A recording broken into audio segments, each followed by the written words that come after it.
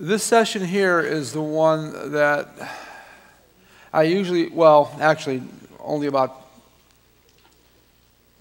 20 minutes of this session, 30 minutes of this session, is, is one that I spend about, would you say, between the video and bumping my gums, about 12 hours uh, with. So we're going to cram all that in, in in maybe 20, 30 minutes. Um, and it's the one that I feel is the most grossly overlooked uh, by American parents today.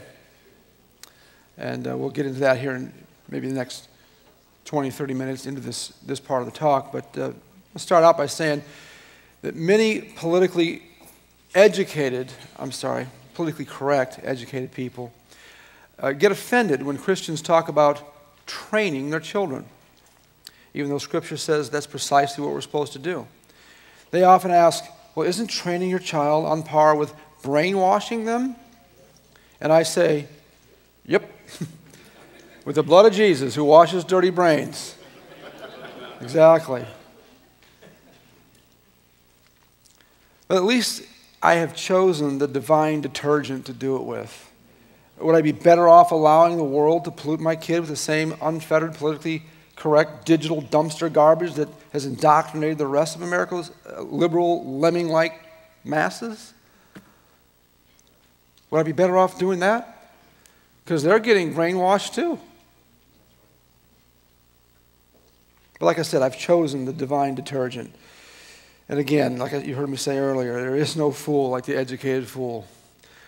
Professing themselves wise, they became as fools. Romans 1.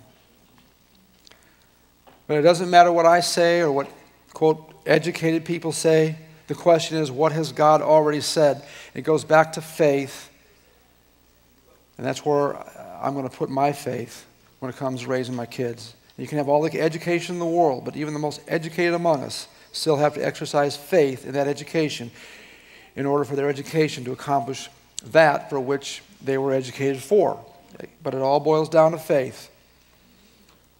And like I said yesterday, you, you can't even, or was it this morning, you can't even doubt anything except from the platform of faith.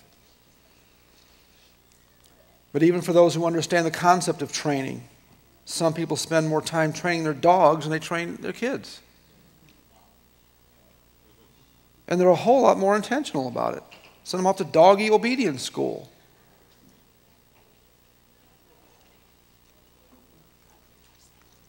But there are two scriptures that are often, I think, misinterpreted when it comes to raising kids and understanding God's promises concerning our kids. And one is Isaiah 55 11, my word will not return void.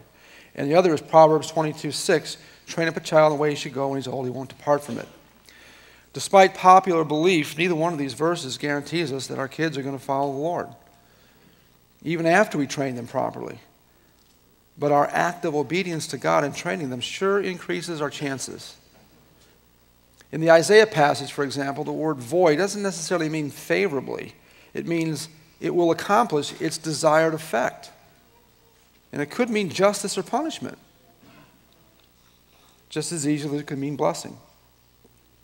Yet this doesn't negate our responsibility to impact, or rather impart, God's word, all while loving and training and exercising discipline on behalf of our kids. And likewise in Proverbs 22 6, the passage should not be taken to mean that if we train our kids in the way, ways of the Lord, they're guaranteed to be the next Billy Graham or Mother Teresa. First of all, training them in the way they should go is better interpreted to, be, to mean to find their bent, help determine their giftings, their purpose in life, in the way they should go. And then, second, you know, the Proverbs, you know, like, like most of the poetry passages in Scripture, scholars say uh, should be, uh, and I've heard Adrian Rogers even say this, they should be considered general principles written to a people in general to produce general results. Just like if you work hard, you get rich. Well, guess what? My dad worked hard and died young trying. Raise up a child the way he should go. He's old, he won't depart from it. Uh, honor your father and mother. When you're old, you, you, know, you get blessed and all that. Uh, I lost a child at 10 and a half months old. What did he do wrong? Something else we should be cautioned about is that, and that's interpreting love and discipline, love and discipline as being mutually exclusive. Proverbs 13:24 basically says, if you don't discipline your child, you don't love your child. And I think it's Proverbs 23:13 that says, if you, dis- if, you, if you punish your child with a rod, he won't die. He won't die. Punish him with a rod, save his soul from hell. And some passages say if you beat your son with a rod, he won't die.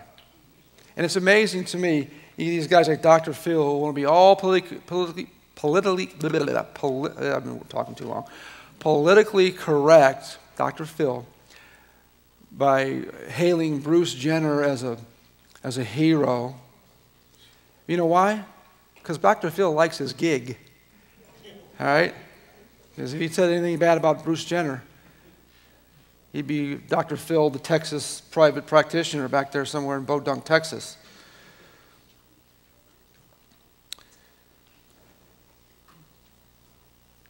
But then he jumps on the bandwagon. If you'd, if you'd have said spank your kids, he'd have caught flack. But because of the high tension in Baltimore, when that lady smacked her kid around, that mom's a hero. Well, you know what? I probably would have done a similar thing to my kid doing that stuff, but, you know, why wasn't addressed that where's the dad? Where's dad?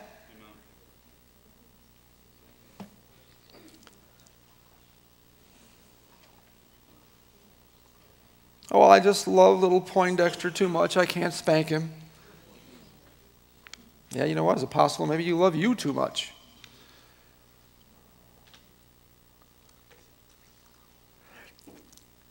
And I won't go in too deep into this, but if you camp out in Hebrews 12, just camp out there in virtually all the Proverbs, you'll get a pretty good handle on what the Lord, Lord's heart is concerning love and discipline. Okay? You, you, you really can't have one without the other. And I've used this analogy before. In fact, I was talking about it over lunch. Love is kind of like a car battery. You got a positive and you got a negative. Now, if all I did was hook my side up to the warm, fuzzy, positive side of the battery, without the cleansing the temple negative side of the battery, I don't get a car that's going to start. I don't get a battery that's going to function for its intended purpose. But as soon as I hook the cable up to both positive and negative, the warm, fuzzy kind of love, which you hugging your kids, kissing them, and you, I mean, dads, you cannot hug and kiss your, your, your girls especially enough. Hug them, kiss them, fawn all over them. Even when they're older, hug on them. I know it's harder when they're older, but you still got to do it.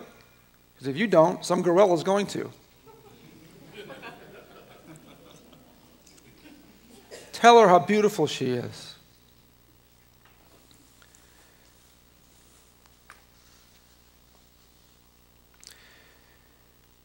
But back to the car battery. You don't get a charge until both sides are hooked up. The warm, fuzzy part of love and the temple cleansing part of love. They got to, in order to the full spectrum of love. And I remember, believe this or not, I'm, I'm a big proponent of, of spanking, uh, but I, I think I laid a glove on my on my kids. I can count on both hands how many times I had to spank them. Because the biggest mistake we make in spanking is either we do it too often we don't do it often enough. And then when we do do it, it's kind of like ding, ding, ding, you know. Or sometimes it's whack, whack, whack. You know, the kids look at it as retaliation. There's a, I, I'm going to write a book, The Art and Science of Spanking. a deeply spiritual exercise. It's coming out in paperback. You think I'm lying? I'm telling you. It is a deeply spiritual exercise. And kids know when you're retaliating or if you're just ticked off or if this really is going to hurt you more, it's going to hurt them. But to negate it totally is absolutely insane. I've often said the best spanking is the one that isn't given. You know, the reason we haven't had to drop an A bomb on another country in, what, 60 years is because they know we have it and they know we'll use it. But for the most part, we've been a pretty good nation. We only drop it on people who are going to kill more people than the bomb would kill. And our kids need to know that this is something we don't want to do. And every time I've ever, you know, the, the few times I've spanked my kids, and they might say, Dad got me a hundred times. That's not true. It really was very few. But when I did, boy, did it count. And it wasn't like I had to wind up and give him 80 licks. Two or three. Two or three. And I want to tell you something right now, just because we're in this room. The Bible talks about a rod of correction. And a rod was something about this big around, about yay long, okay? And we, we talk about wooden spoons. Oh, wow, that's going to just knock me out, isn't it? Or, or some big paddles, big thick belts. You heard the razor strap stories, right? All those are, you know, both ends of the, of the continuum. If, if my wife knew I was telling you this, she would drag me off the stage. But I'm going to tell you this. Get yourself a three foot piece of PVC Put baton ends on both ends, tape them up real good, and here's all you got to do. Boom, boom. That's it. I did that to myself one time just to see how it would work. Sent me through the ceiling. I don't know what's in PVC, but it works. And, and trust me, you don't have to wind up. It's just whack, whack, done. You get your way, okay? And it really is you know, pretty much in line with what Scripture says about the rod, so I'll leave that be. But it's hard for me to comprehend why some parents can allow their kids to be involved in every immoral, foolish, and life threatening activity under the sun and then just flat refuse to exercise an appropriate measure of discipline and guidance to keep some of those dangerous things from happening. Pastor, what time we end this? We're supposed to end this?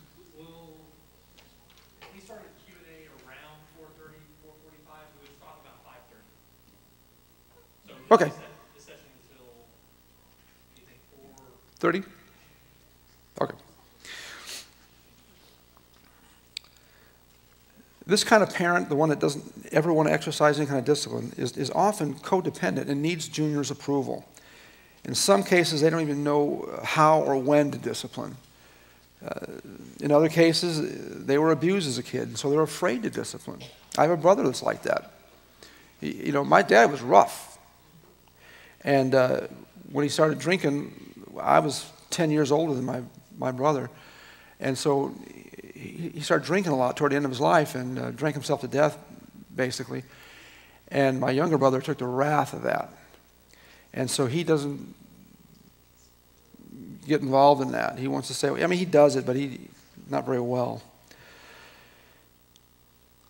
Whatever the case may be, these parents are cheating themselves and their kids by not exercising proper discipline, whether it's spanking or another form uh, of discipline. Again, check out Hebrews 12. But it's hard to say, and I got rabbit trail because of my ADD. Um, when, the few times I did whack my kids, um, when it was over with, and again, it was over with in a flash, I always was sure to hug on them, sit down with them, sometimes cry with them, and let them know that I don't want to do this. I don't want to do this.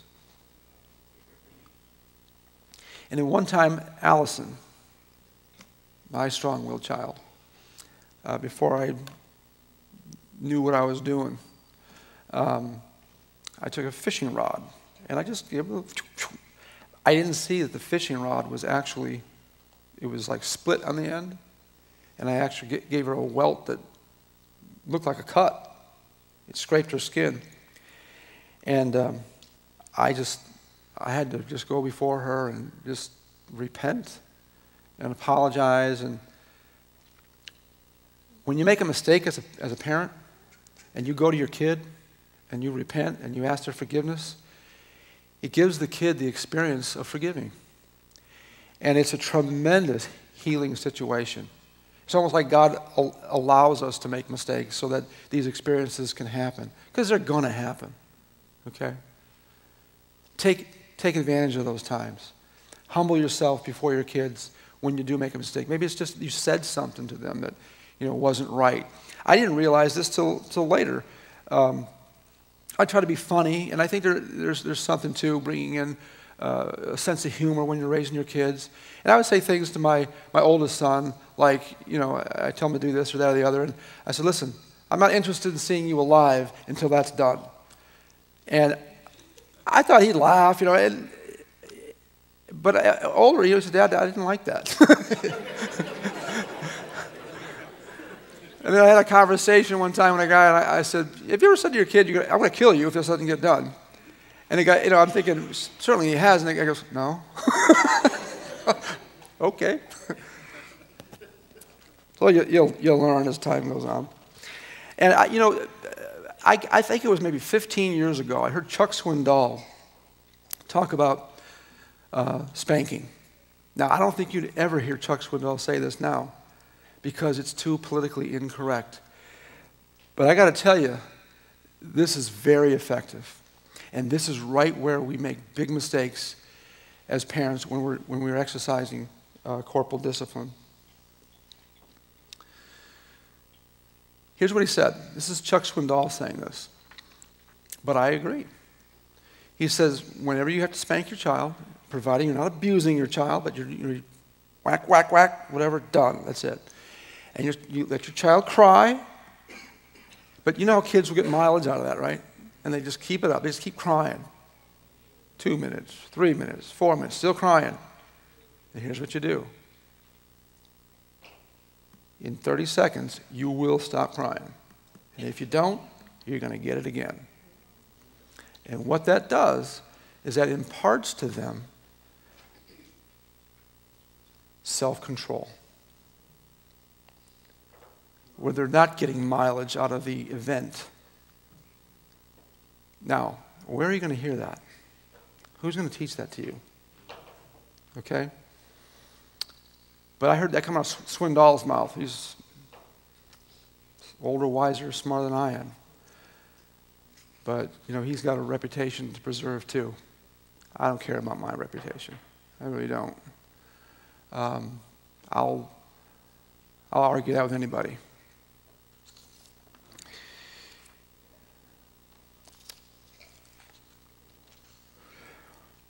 So you got permissive parenting. Uh, you also have, and I'm not going to go into uh, all this, but you got authoritative, I'm sorry, authoritarian parenting, uh, which is the opposite end of the continuum, where you know you're you're down the kid's throat every two seconds, you're pulling out the atom bomb for uh, every little thing. Well, then he grows calluses to all that. I don't mean physically. I'm talking emotionally, spiritually. It could be physically, but I hope not. Then you are abusing your kid. But there's a balance, and it's called authoritative parenting. And I'm not going to go into it because you can go to any parenting book, any of the 7,000 parenting books that are out there, and they all talk about it. Oh, it's 120,000? 120,000, I'm sorry. Yeah. Um, so I'm just going to leave that be. And I think there's a lot of uh, other reasons that, that parents are, are, permissive, going back to the permissive thing, because I see that as the most pervasive problem with, uh, with kids today, is that kids have been left to themselves. We have violated uh, Proverbs 29 15. Uh, and, and, what are some of the reasons? Well, parents too often, they want junior's approval more than God's. Uh, they don't know what Scripture and common sense says about right and wrong. They're too lazy or self indulgent. A parent has a similar rebellious, indulgent past and feels, well, you know, I turned out okay. Well, the truth is, you're still turning out. And junior might not be so lucky. So don't feel like you're a hypocrite if you're disciplining your, your kid for what you didn't get disciplined for. It confuses peacekeeping with peacemaking. Parents are too busy and exhausted. And, and trust me, if the devil can't make you bad, he'll make you busy. They took their parenting cues from all the wrong places Dr. Spock, Dr. Phil, Dr. Oz, Dr. Drew, and, and Dr. Oprah, like we mentioned before. uh, has uh, their own sin filled life and doesn't want to be a hypocrite.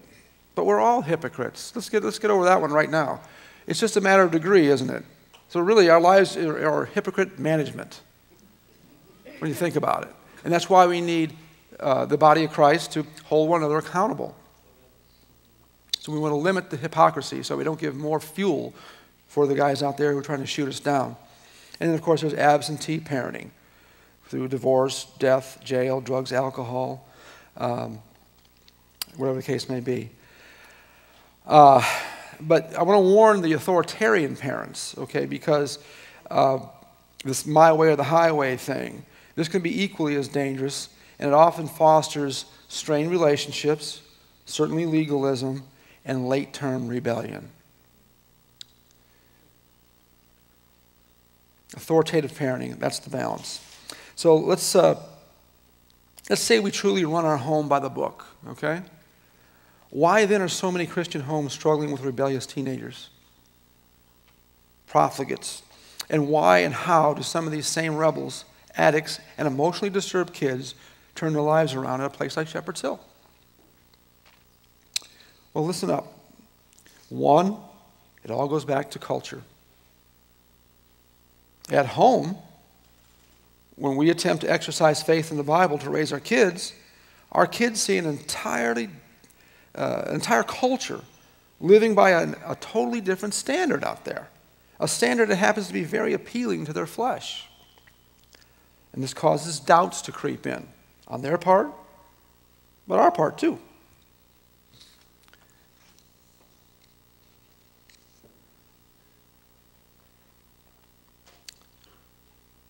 But you know, when it seems like the whole world is doing uh, something different, working against you, how, how could you help but doubt just a little bit? How could you, really? But that's exactly when compromises begin. And it's hard for us to imagine that we could actually be right on this whole, you know, uh, issue, and, and the world all wrong. That just doesn't seem right. How can the, you know, we be right?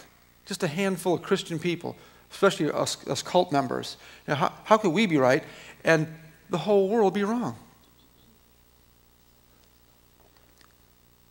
Same way a handful of people in the anti slavery movement were right and the whole world wrong.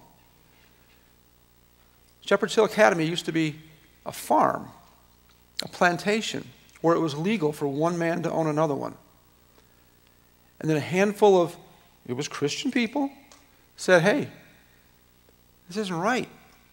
Some of them got hurt, persecuted, lost their lives to say, we got to do something about this. Ultimately, cost this nation 600,000 lives to get it sorted out, didn't it? But it started with a handful of people who said, enough is enough.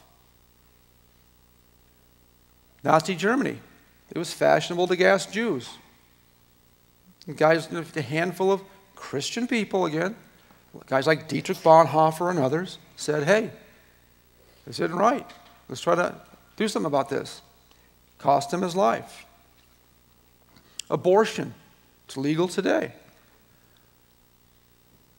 Whole, whole country accepts this as something that's normal. I mean, I mean, there's people now understanding, understood it even back then. My point is this, and it goes, it's around the, uh, world, around the world where we have entire societies are doing something that a handful of people understand this isn't right. And they're trying to do something about it. And they're usually Christian people. So the whole world can be wrong and a handful of people right. And that's why we have an advantage, knowing that our standard comes from right here. So our kids have an ally with the culture. They're, at least the fleshly part of who they are. And we have to battle that as well. And it used to be, you know, it gradually went from, well, the neighbors, the weird uncle, whatever, uh, the hippies, the, the, the, fringe, but now it's school teachers and politicians and everybody in, in TV. Nobody's backing us up anymore. And our kids see this and they think, well, they got Looney Tunes for parents failing to realize that the parents aren't the ones of the Looney Tunes, it's the rest of the world.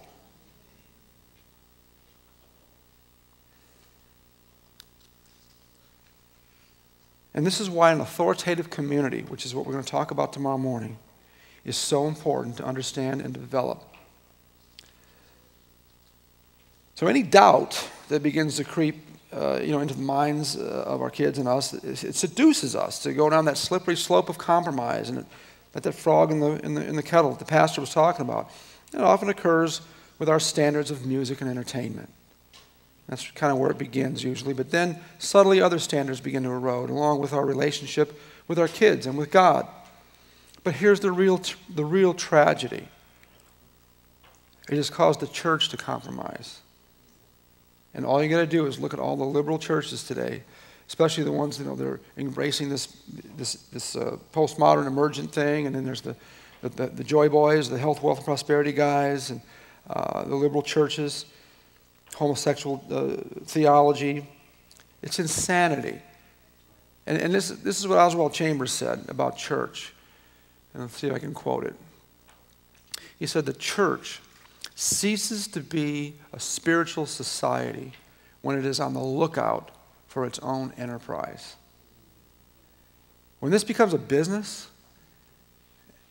and you're worried about filling the, the, the pews, and the head pastors pressuring the, pressuring the youth pastor to keep the numbers up, God's hand of blessing starts coming off of things.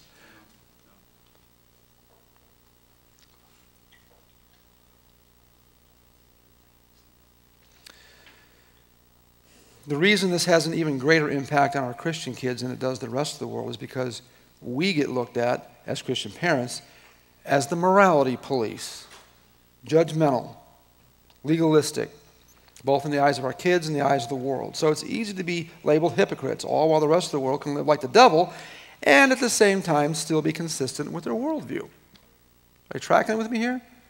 They're not hypocrites. They're being very consistent with what they say they believe at least in the eyes of our kids. Whenever I ask for a show of hands from the kids at Shepherd's Hill, asking them if they think their parents are lukewarm, hypocritical, virtually every hand goes up. Whether they are or not. This is how kids see it. And this is the pervasive thought of young people, both outside and inside the church today. I mean, it's no secret that when teenage seekers come to the average youth group and they assess the integrity of the youth group as a whole, they're often terribly disillusioned by the attitudes, behaviors, and spiritual climate of their constituency. And this is one reason why the average stay for young people in today's church is 8 to 11 weeks after converting to the faith, and then they're gone.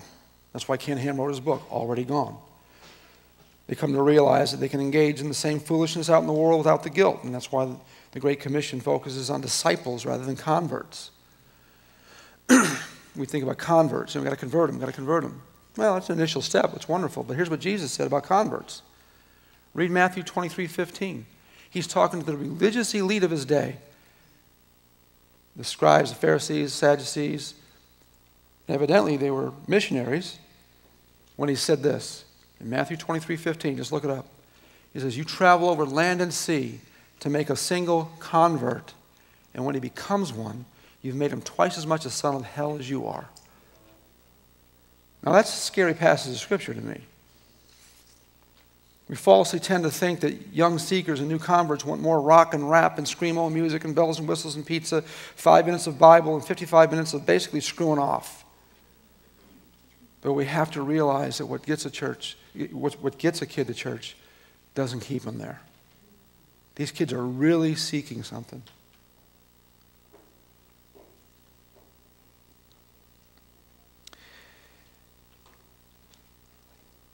They're really seeking something they don't often find in church. For them, they often find it in music. Because music is deeply spiritual.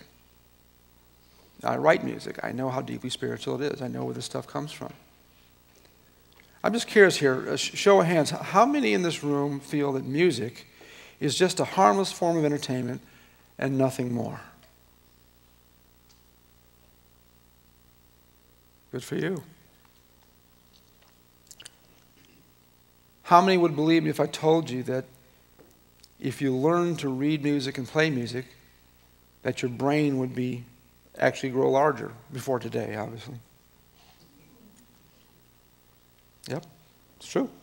Matter of fact, if you, you can Google this, the Washington Narrows Bridge. It's a bridge that I don't think was quite as, well, it wasn't as big as the Golden Gate. But this is back in the 30s, I think, or 40s. And um, they filmed it. They filmed this bridge. It, was, it had these, I don't know what you call those things, to hold the bridge, suspension bridge. And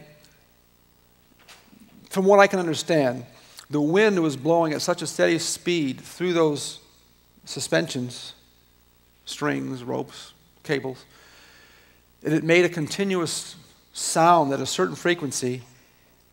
The frequency alone got the bridge doing this.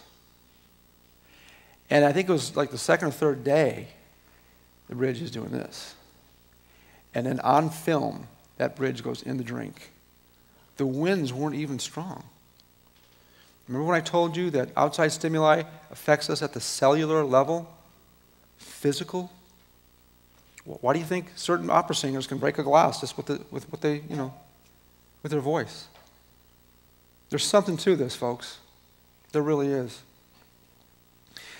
So I want to talk to you about music because music is deeply spiritual, and um, Scripture refers to music. How many times do you think Scripture would refer to music?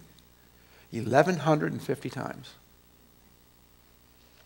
And it's the deep spiritual component to music that allows it to communicate a message even without words. My experience is that it can be as powerful and destructive as drugs. And I've had kids tell me time and time again it is like a drug.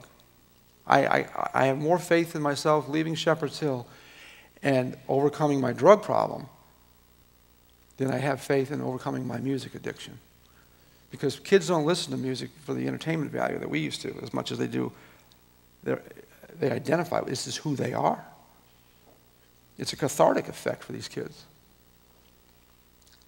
I'm a grunge, I'm a punk, I'm a rapper, I'm a rocker, I'm a country, you know. And, and by the way, rock and roll music is basically things about, you know, what you want to do. I want to rock, you know, I want to do this, I want to do that. In which country? I already did this, I already did that. Got drunk on a truck, on a train, you know.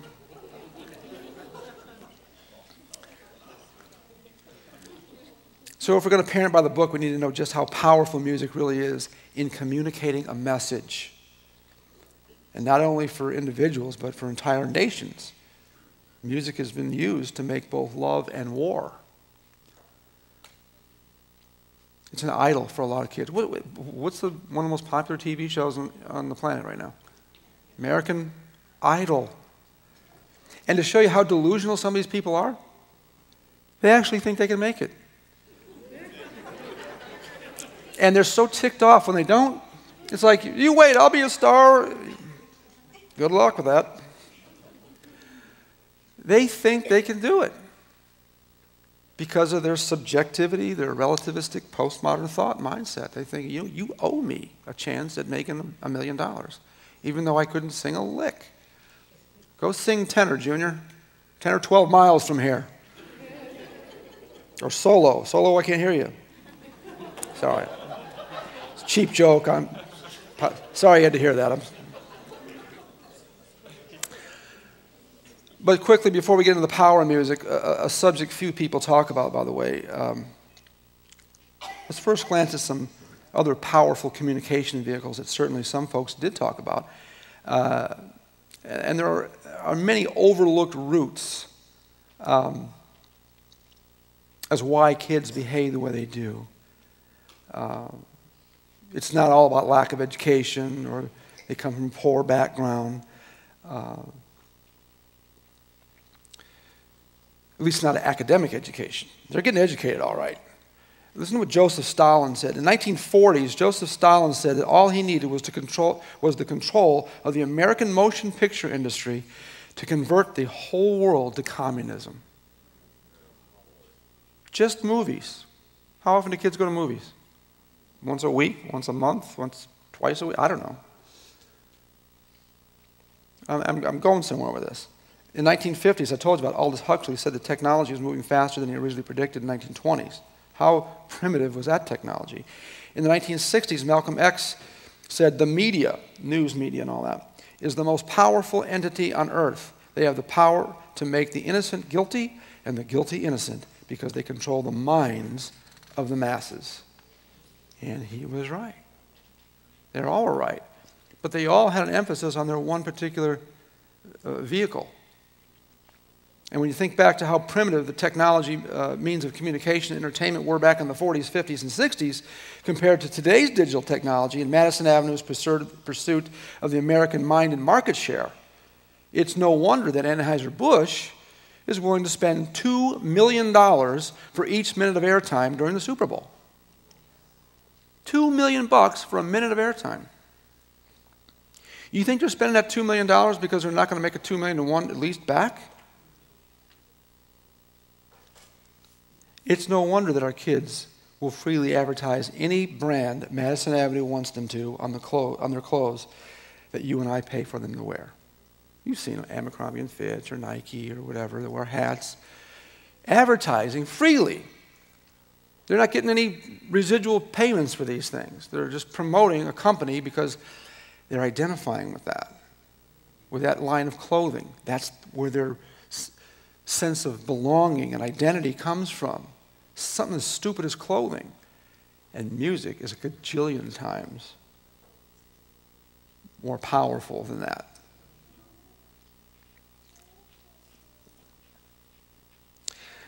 But let's now consider the deep and powerful spiritual communication and indoctrination powers within music. Music, unlike all the other communication forms we just mentioned, is something a lot of kids are exposed to not just once a month or once a week or occasionally, but virtually around the clock. In fact, for some kids, music is their, you know, like I said, their entire identity. They wake up to it, it's in their video games, it's in the backdrop of their movies. They get dressed to school to it. They uh, drive to school to it. They hear it at school. They chill out to it. They work out to it. They go to bed to it. They do their homework to it. It's, they can't walk across the street without headphones on. So they're getting a, a very healthy dose of whoever their favorite pop icon might be. And I go back to the whole boo thing. I won't shake you up again, but it's causing chemical reactions in them.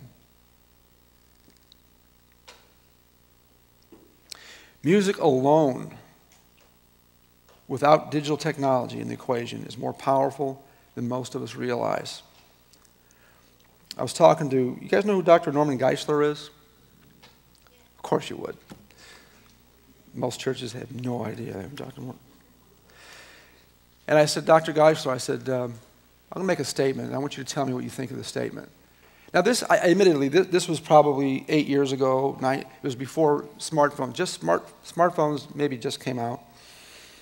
And I said, um, I'm going to make a statement. I believe that music is the single most powerful destructive tool the devil used against the church, teenage population, and our American culture. And man, he did not miss a beat. He said, I couldn't agree with you more.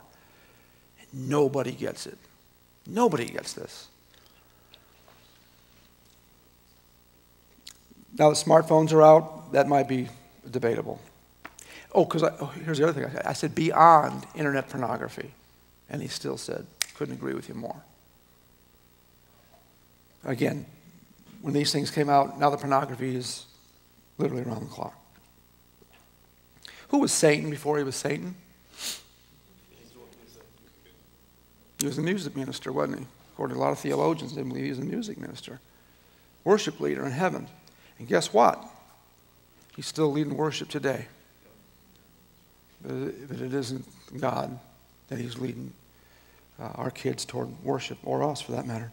Even Socrates, Plato, and Aristotle understood uh, and wrote about music's powerful ability alone to control the attitudes and behaviors of not just individuals but they also understood music's power to change entire societies. To the point that Plato wrote about music's contribution to the moral decline of Greece and actually wanted to have music regulated by the state. He was no dummy. Fletcher said, Let me write the songs of any nation. I don't care who makes their laws. the hippie movement, sex, drugs, and rock and roll. That's where that came from. They used those vehicles to change our culture. And guess what? They succeeded. Mission accomplished.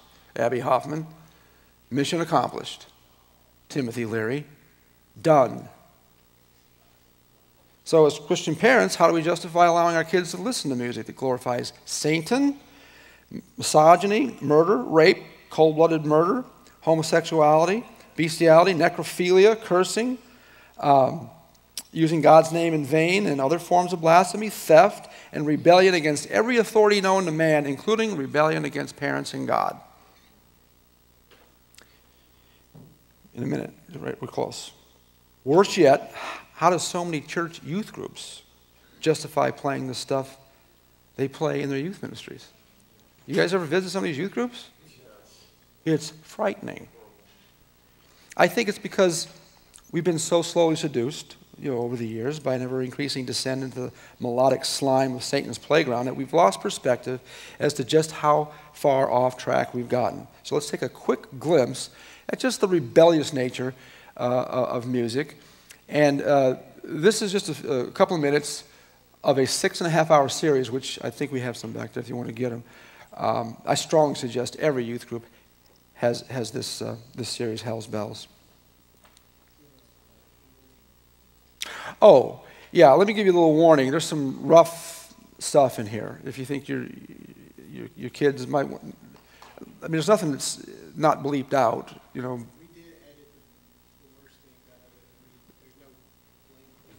Okay. I mean, I, just, I wouldn't, I played this to my kids at young ages. Uh, it's stuff that your kids have seen and will see every day, basically. Um, and by the way, I wouldn't totally shelter my kids from a lot of this stuff. I'd, I'd let them see just enough, enough of it to be sickened by it, okay? Uh, because if you shelter them totally, then they're going to be curious. They're going to look on, they're going to find a way to see it themselves, and, and then Satan wins. Um, you, you, you, you allow it too often in your house, and then they acquire an appetite for it. Uh, but I think they need to at least know what's there, and you guys can have adult conversation with your even very little kids. I think needs, needs to be um, uh, those conversations need to be had. Number one, rebellion is evil. Though frequently celebrated today as something cool, comical, and even heroic, make no mistake about it. God hates and punishes the sin of rebellion. The evil man seeks only rebellion, therefore, a cruel messenger will be sent against him. Furthermore, God views it as a form of occultism, something we'll look at in more detail a bit later. For rebellion is as the sin of witchcraft. Lastly, while all rebellion is serious, there's one specific type that especially tears at the fabric of divine order. Honor your father and your mother. To rebel against, to dishonor one's parents is so abominable to God that cursing or striking them, as well as other extreme forms of protracted rebellion against parental authority, was a capital offense in Old Testament Israel. Shut up, you're causing too much chaos. Just bend over and take it like a slut, okay, ma? Oh, now he's raping his own mother, abusing a horse, snorting coke, and we gave him the Rolling Stone cover? In this context, one shudders to think how God views rapper Eminem's rebelliousness, as well as the millions of fans who feed off his depravities. And there's a million of us just like me, who cuss like me, who just don't give a f- like me, who dress like me, walk, talk, and act like me. Hit her with the skateboard. Parents and their authority have become a primary target for the grotesque defiance that courses through the world of rock and roll.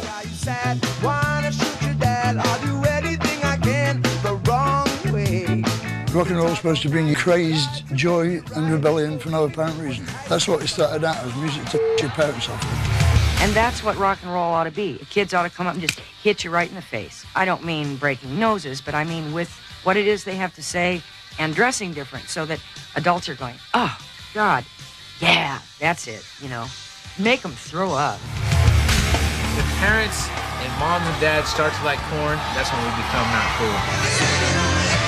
Rock and roll is attitudes. It's uh, it's all the things that your parents told you don't do, you can do.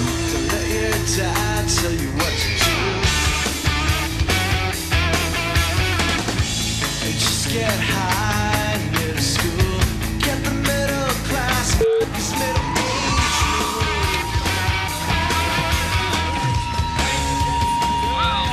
this.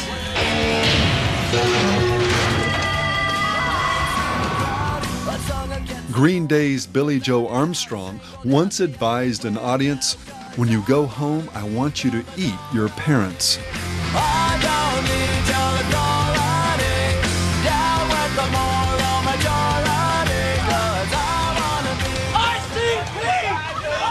I'm not allowed to listen to him when she's home, but you know I don't care.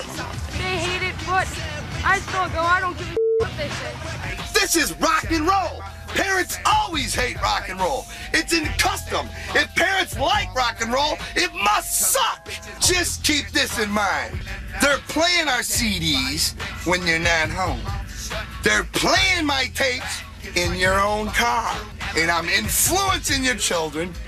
Just don't push your luck. This is most of the stuff that the parents of the kids today are, have listened to and are listening to. The stuff that the kids are listening to today makes this look like Sesame Street. And they're getting full doses. And our youth groups are playing some of this stuff, thinking that you know, that's what's going to draw them in. Have a blast, youth groups. How's it been working for us so far? You know, when Elvis came on the scene, he was, uh, he was banned in, in, in many venues.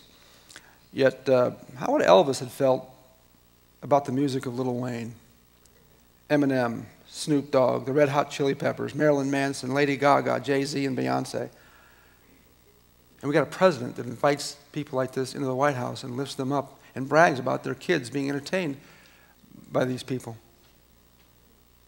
It's just deception. It's just delusion. It's, it's that slow seduction into uh, the frog in the, in the kettle. That's what it is. Let me ask you this Can you name three contemporary songs that lift up chastity before marriage? This is going to go about 15 minutes long, Pastor. Okay? One song? Can you name one song? I, want to, I got to see hands if you can name me one song. How about in the last 10 years? 20 years? 30 years. I use rock and roll actually as a, an apologetic for the Christian faith. You know why? Because, and I, I could show it, they'll, they'll, they play all kinds of clips on here. Jesus and the Christian faith is continually bombarded and blasted and ridiculed and mocked in the rock and roll industry. I will never say that all rock and roll music, and by rock and roll I mean all the, you know, rap, hip hop, all, I would never say that it's all the devil. I will say the devil's found a home in that kind of music. And we need to be alerted and on our toes when that kind of music is being played. I don't think I'd be legalistic and say, because it's, very easy to be legalistic in this area. You can't listen to a contemporary song. It's got to be Christian music. I think you're going to drive a wedge between, eh, with your kids. Okay, I'm, I'm telling you, don't do that. You got to be discerning. We're going to that here in just a second. You don't see Christian, or you don't see contemporary music mocking Buddha or Muhammad or the Hindu faith or any faith. And why, why is the, always the cross is upside down? Why is it they're always mocking you know, Christianity and, and Christian symbols and upholding the devil? But why is it the Christian faith, the one that gets attacked? And you know as well as I do, I don't have to go into it. It's the Christian faith that gets slammed by a lot of contemporary music, especially death metal. And why is that? Why in the world the devil need to mock any other religions? there already is.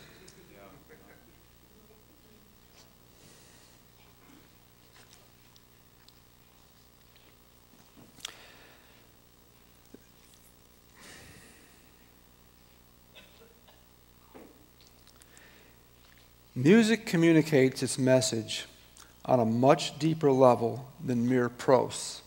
Okay? Poetry communicates deeper than prose, and music communicates deeper than poetry. Prose is, you know, just like me talking. Poetry adds rhyme, beat, meter, and then and you then you can remember like that's why they do nursery rhymes teach kids how to you know mary had a little lamb fleeces white snow on and on all those that was the whole purpose behind it to indelibly implant these things in their heads and then when you add music with harmonies and the beats and the rhythms and the chord progressions and all the stuff these are all embellishments of the communication that goes along in music and is deeply spiritual. How many movies would you not have cried at if it wasn't for the music in the background? You can listen to music, a song you haven't heard in 30 years, and it brings back smells, it brings back feelings, it brings back thoughts. That's how powerful music is. But it speaks a message, a specific message. If, if, your, if your intellect doesn't grasp it, guarantee you your soul does. Remember that crazy uh, TV show, The Munsters?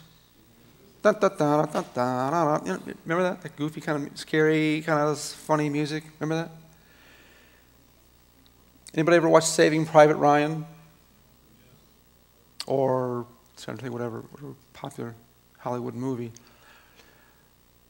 All right, here, whether you've seen Saving Private Ryan, you probably know what it's about, okay? And by the way, I, I think that's one area where we do get legalistic in. It's an R rated movie, but so is The Passion of the Christ. And there's a difference between violence and gratuitous violence. Gratuitous violence is like a Freddy Krueger movie that says, Show me all the blood and gore. I'm getting turned on by the blood and gore. The blood and gore in a movie like Saving Private Ryan or another R rated movie, Glory, which is about the Civil War, it turns you off to the violence. You want to read a sex book? You want to read a violent book? Right there. But it's not gratuitous sex and violence, it turns you away from it. And so there's th- there are R rated movies I want my kids to see. I don't want Hollywood determining what, my kids, uh, what movies my kids see and don't see, or, or what I see and don't see. That's, that's between me and God and the body of Christ, who, when I get, lose my connection between me and God, someone can come to me and say, hey, come on, really? And then I have to say, yeah, you're right. And I'll debate some of these things, you know, with folks about that, but that's another story. I've, I've rabbit trailed. My point is the Munsters, Saving Private Ryan, switch the soundtracks. Tell me why it doesn't work.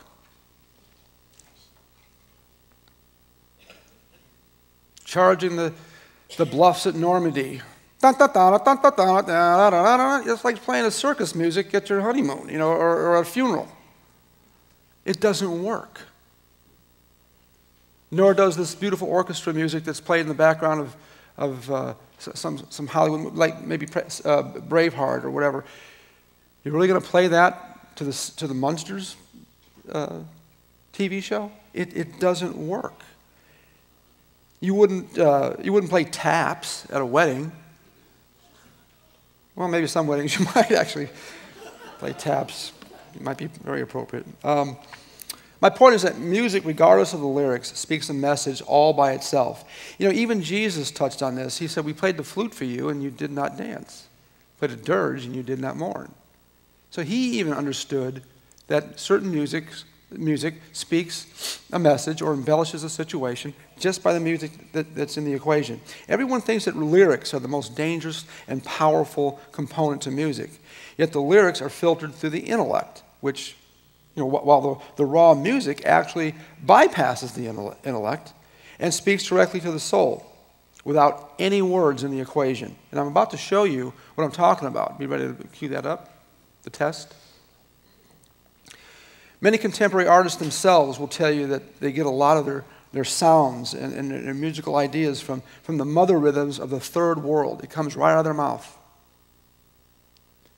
Occult societies where voodoo priests, shamans, witch doctors, headhunters, and cannibals use similar beats, rhythms, chord progressions, and energy to drum up their unholy spirits. It's just that we've electrified them. I was just talking to a, a brother from Haiti in the, in the restroom. And I asked him, I said, is this, is this true?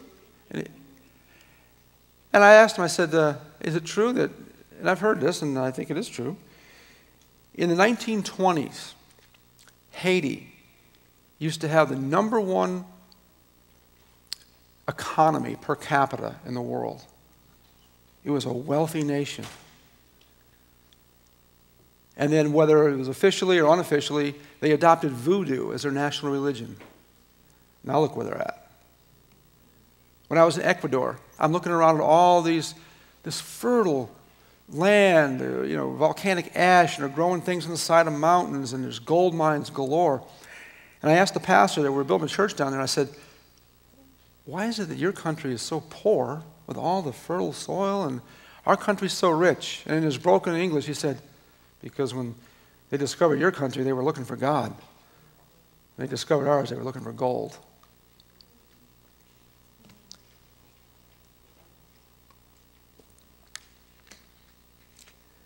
The occultists didn't take their music from the rock and rollers. The rock and rollers took their music from the occultists. Why don't you hear Beethoven or Mozart type music in an occult ritual?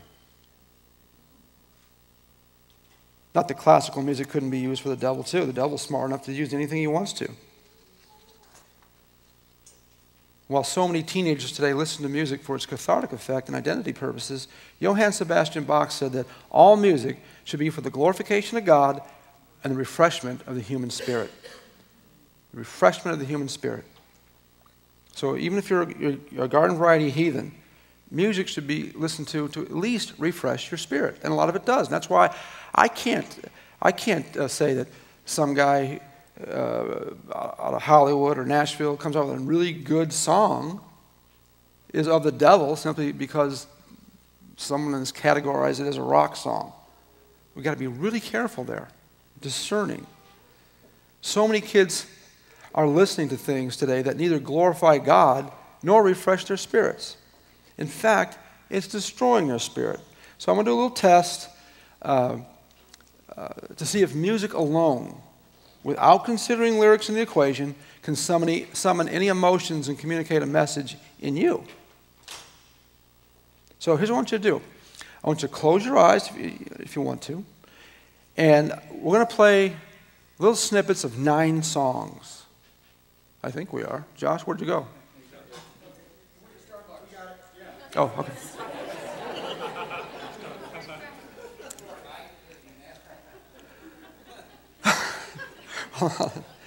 We're going to play snippets of nine songs. And here's what I want you to do I want you to, to think about, you can write them down if you want, the emotions that you feel hearing just the music. If there are lyrics in the equation, just I want you to listen to the music. And you tell me what emotions get summoned up. Okay? Ready? Here we go.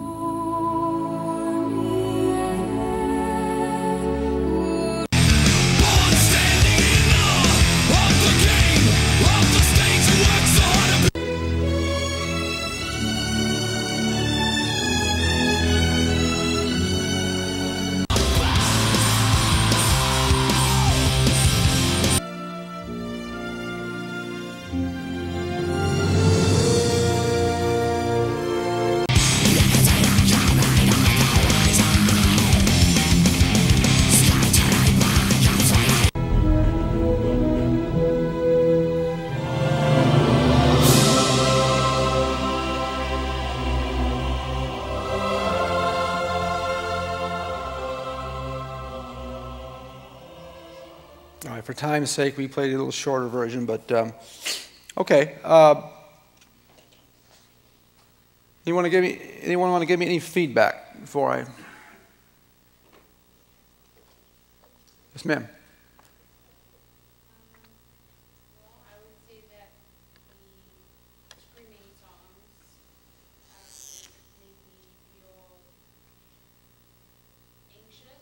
Okay. Okay, uh, so, to, so I can just uh, kind of move this along a little bit because I know we're running out of time. Uh, is it safe to say that there were two distinctly different types of music? Okay, that's a no-brainer, right? Okay. And was there anything that, other than what I just said, is there anything that would um, have influenced you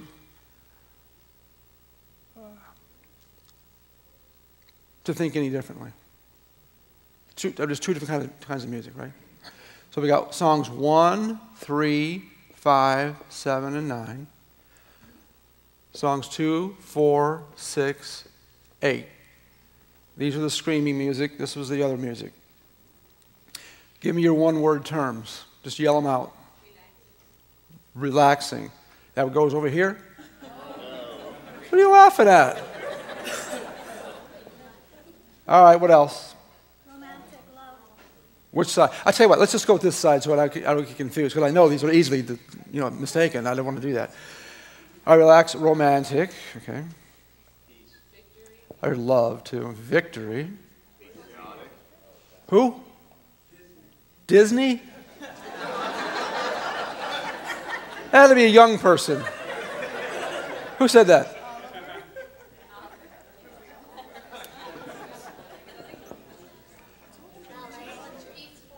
Peaceful. What was that? Oh, okay. Peaceful, inspiring, majestic, serenity, hopeful, patriotic, triumph, soothing uplifting,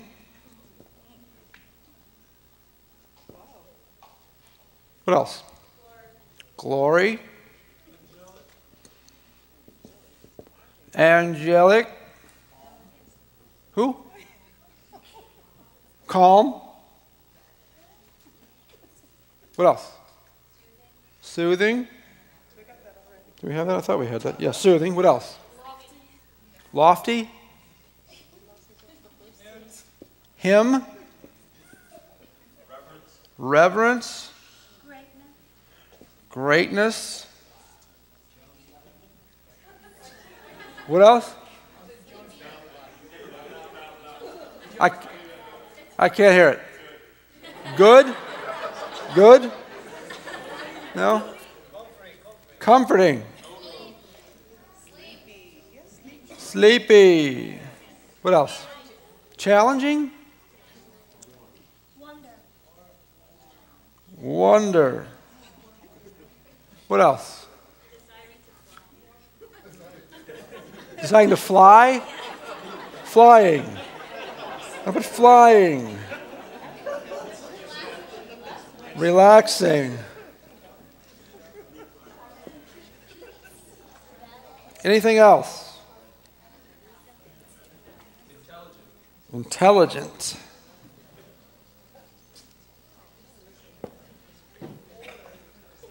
About it? Or is it? Who? Healing? Healing. Ballet. It's all right. Rejuvenated.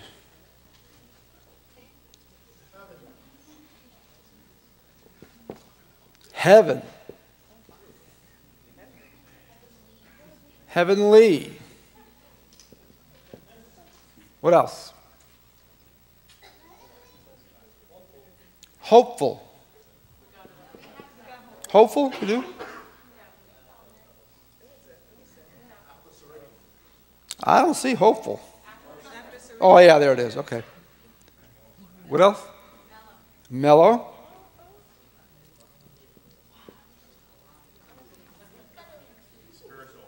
Spiritual.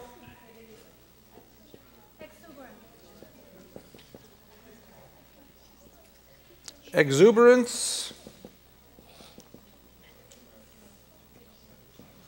What else? Order. Fantastic.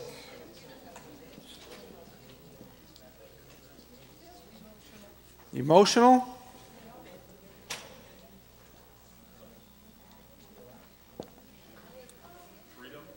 Freedom.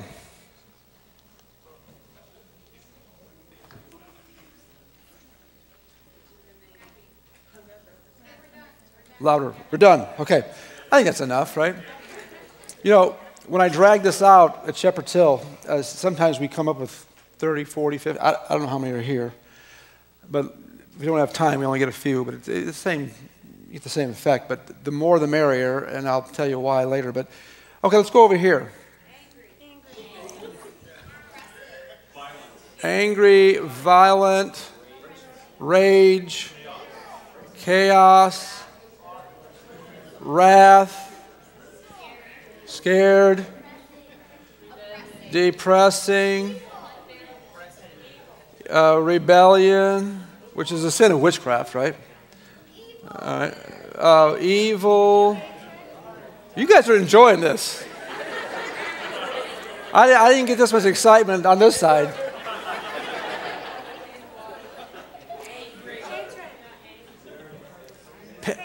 Patron hatred I got, I got depressing. Satanic. We got chaos. chaos. We'll go with chaotic. I heard after satanic, I heard something. Anxious.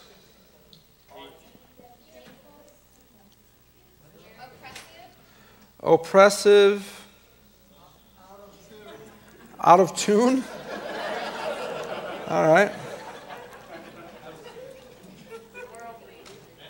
worldly, scary, demonic, psycho, psycho. I kid.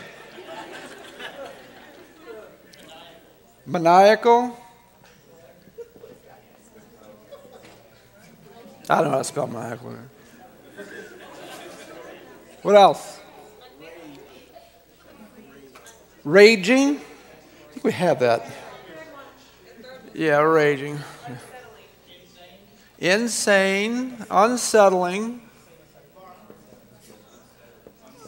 uh, unsettling, unsaved, perverted, disturbing Hurried? Hurried. Stressful. Stressful. Heavy. Discord. Exorcism.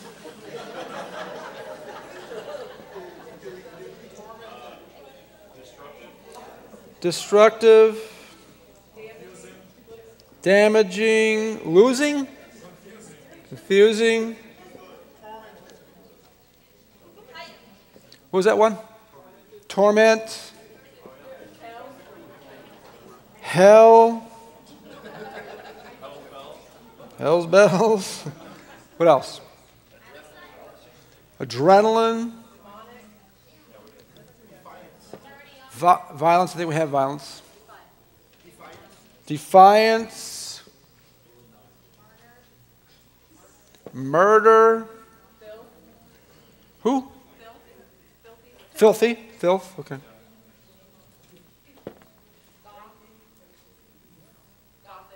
Goth. Pagan. Drugs. What else? What? Euphoria? Euphoria? Euphoria. Ungodly. Negative. Okay. Uh, I'm going to sue you for writer's cramp here. Can we, can we leave that be? Okay. Here's a question I want to ask you. Can, would it be appropriate in your mind or in your heart to swap any of these? No. No. Yes? Did I hear a yes? No. No. Okay.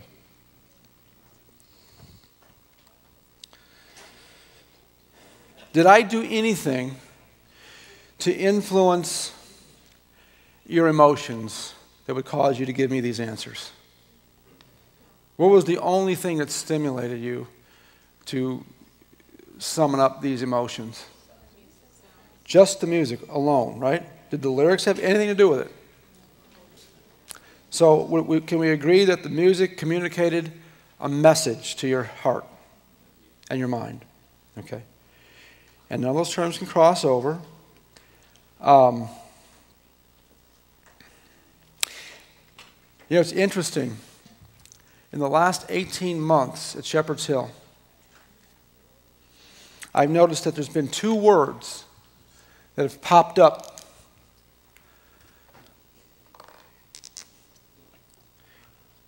on this side that never popped up before familiar and home.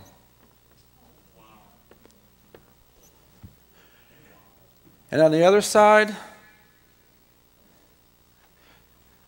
fantasy and unreal.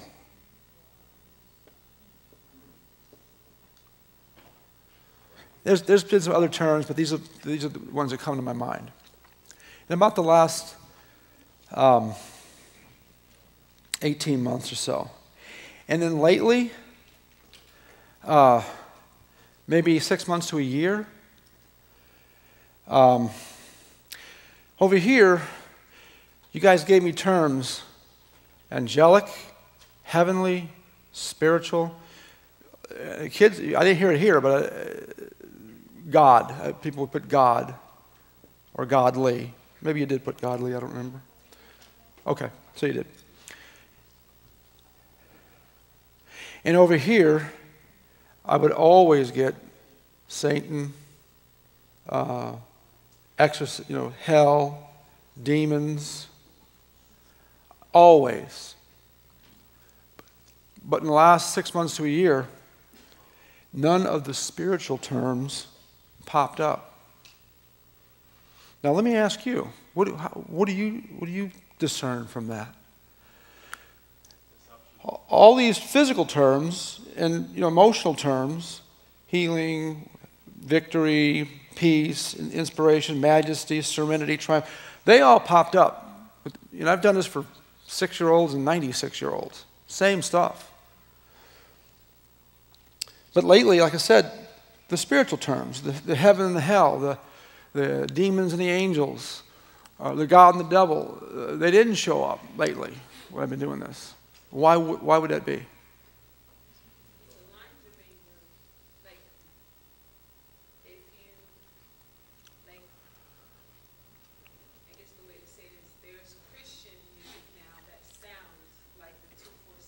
Mm-hmm.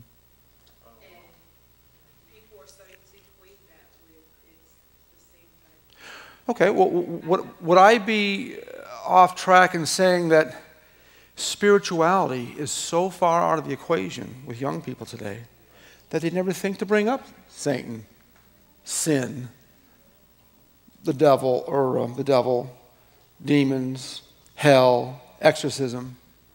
They don't, they don't bring it, or God or angels. They just don't bring it up because it's not in their repertoire, worldview, right? Why would the dark music, I'm going to just call it the dark music, why would they come up with terms like familiar and home? What's that? Their parents let them listen to it? It's what they're used to. It's what they know and love. They've acquired appetites for it. Yeah, because a couple years ago, I never saw those terms. I mean, it was more solid this way and solid that way. There was nothing that could have possibly crossed over. This is indicative of where our culture is going. Are you following with me here?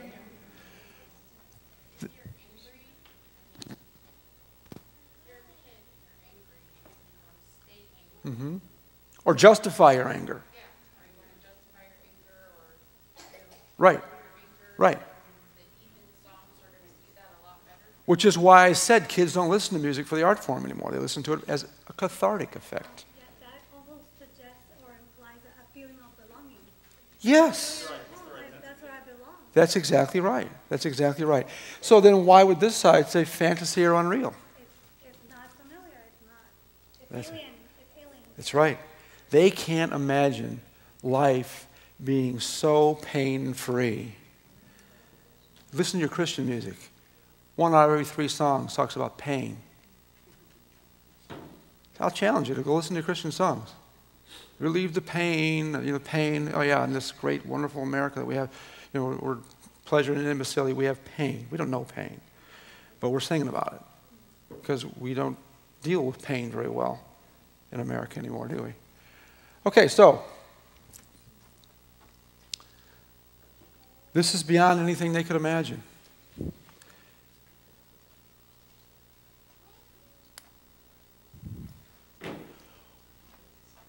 One of these are all secular songs, and one of these are all Christian songs. Which one's which?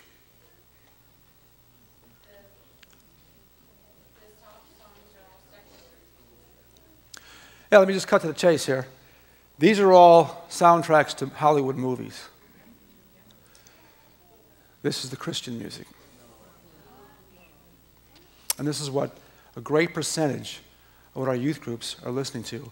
And they're walking away expecting to get to know Jesus, and they're coming away with emotions like that. I don't care what kind of Christian lyric you put to it. You can put Bible verses to this.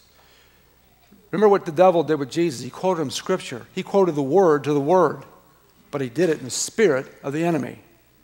So the music communicates on a deeper level, which you just proved.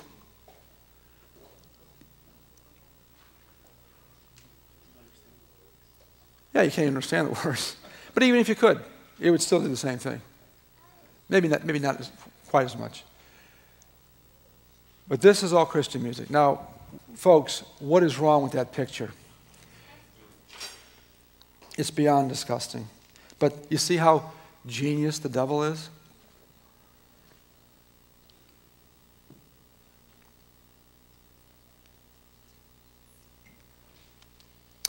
Would God endorse these as Christian songs? Can God bless a life that's routinely being entertained by spirits and subject matter that grieve the heart of God and bring these same kinds of emotions up? Bring these same kind of emotions upon his kids, morning, noon, and night? Now, add B's and hoes and F the police to these beats and rhythms and chord progressions. Jay Z, Beyonce, Lil Wayne, Eminem, and all, know, all the rest. And now you got yourself an elixir for destruction. And our kids are addicted to it. They're addicted to it. They won't turn loose of it.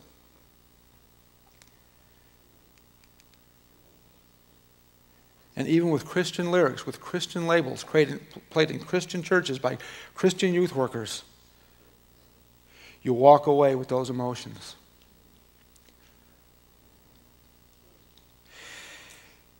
Now, here's the, the, uh, the confusing part of the equation. Most music isn't way over here on the continuum like this, or way over here. Most music is somewhere in here. And you got some music somewhere in here. Somewhere in here. Let's take the song Imagine by John Lennon. You guys all know that song, right? Beautiful song. Devil's beautiful.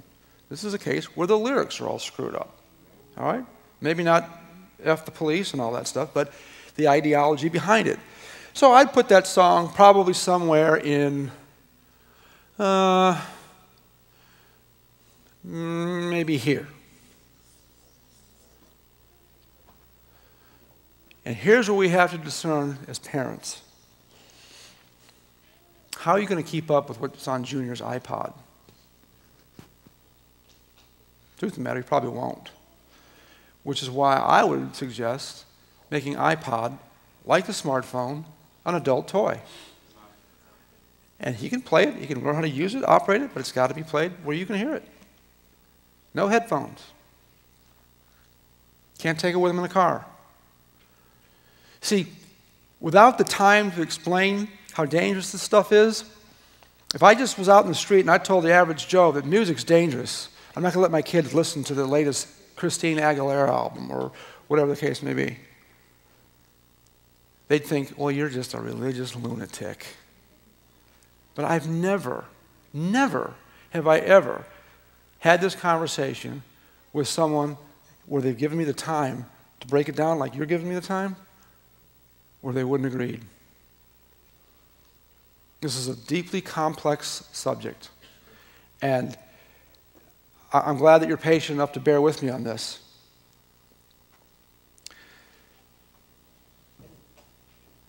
So, the question your kids ask me, well, not your kids, but kids ask me at Shepherd's Hill, is then how do I discern good music from evil music? And what I, what I tell them, I say, do you want the spiritual answer or the mechanical answer? Because to be truthful, very few people are spiritually discerning enough. Now, they even might be spiritually mature, but not spiritually discerning when it comes to music enough to really grasp the spiritual answer. But here's the spiritual answer just like makeup. How do I know good music from bad music? I don't know. But I know it when I hear it. It'll check your spirit. And if your spirit is checked by anything your kid's listening to or watching, you not only have the right, you have the responsibility to say, Junior, turn that off, or give it to me, or whatever the case may be. And so, what I advise my kids to do, and I want to advise you, you to do the same thing, uh, along with spiritually discerning it, is, is this. If it gives you positive thoughts about yourself, your fellow man, or your God, probably all right. It gives you negative thoughts about yourself, your fellow man, or your God, mm, might want to not listen to that. And get yourself an accountability group to, to help you discern these things and, ha- and, and, and, and discuss it, dialogue with it.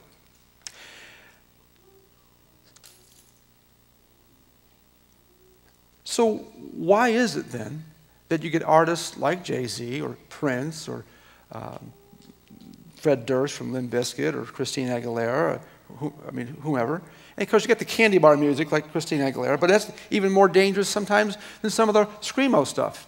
Why? Because it's packaged to look like M&Ms. If you were the devil, like Holmberg says, is which, which mode would you choose? But why would so many contemporary artists, and you know what I'm saying is true, wear crosses, pray on camera, have God and prayer uh, in the titles and the words of their songs, and then thank God at their award shows, the, like the Grammys. Why would they talk about Jesus even? Thank you, Jesus, for uh, helping me produce this trash so I can pollute. You know, why would they thank the Lord? Anybody got an idea why they would do that? Is it just hypocrisy? Deception? Is it just deception? I want to suggest it's market share. It's market share. Here's what I mean by that they know that those who call themselves Christians, there's a lot of lukewarmers, millions, multiplied millions.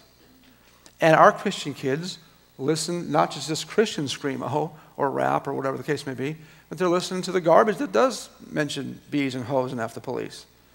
And parents let them listen to that. And so on their CD jackets, Here's the picture of the guy, got the grill going on, got the big, you know, the bling and the cross, and First song might be God this, prayer that, whatever. And the rest of them are all the, the, the, the crazy, nasty stuff. Parents, all they see is the bling, the God, the prayer. Here, Junior, here's your 20, 25 bucks. Knock yourself out. And they don't even think about listening to the other stuff. And so they got an entire market, your kids and mine, to sell their garbage too. And it's addictive. So they can resell their garbage too. Well, I know we've gone long, and we're going to go ahead and, and, and wrap it up, and we're going to be here for questions. So um, I hope uh, this enlightens you a little bit anyway. Thank you.